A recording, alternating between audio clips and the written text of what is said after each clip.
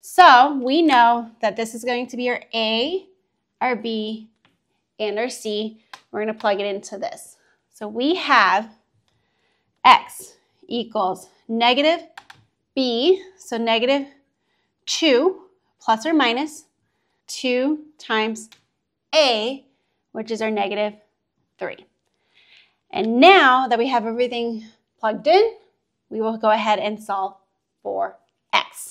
Of 2 to the square root of 2, so 2 times 2, which is 4, minus, so now 4 times 3 times 2 is giving us positive 24.